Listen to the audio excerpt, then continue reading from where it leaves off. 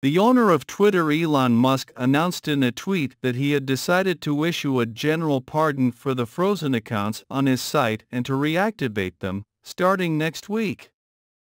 This is in response to a previous tweet he posted on Wednesday.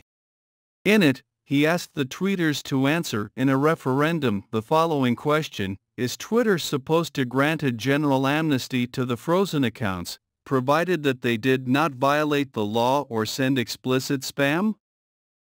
And 72.4% of the tweeters answered Musk's question with yes.